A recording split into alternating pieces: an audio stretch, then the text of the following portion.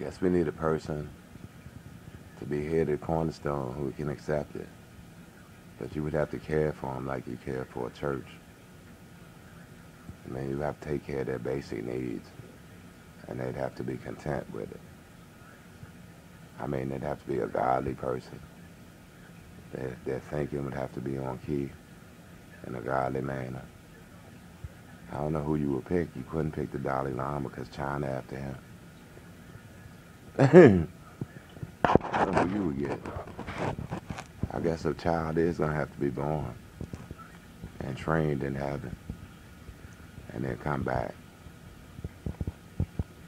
and be able to do it.